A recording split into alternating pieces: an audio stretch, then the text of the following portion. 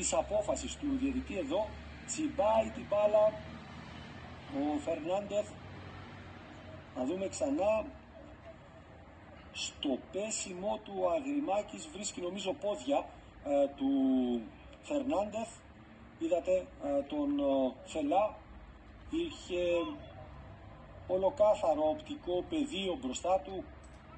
Είδε τι έγινε στην φάση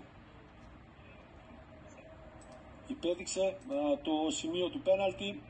Ο Ιβάν Τρισκόφσκι είναι απέναντι από τον Αγριμάκη και η μεγάλη ευκαιρία της ΑΕΚ να σκοράρει. Εφόσον φυσικά γίνει ο έλεγχος, ο απαραίτητος από την ομάδα του VAR στη φάση θα δοθεί. Ο Φελάς φύριξε, ο Τρισκόφσκι 1-0 η ΑΕΚ. Στο 10ο λεπτό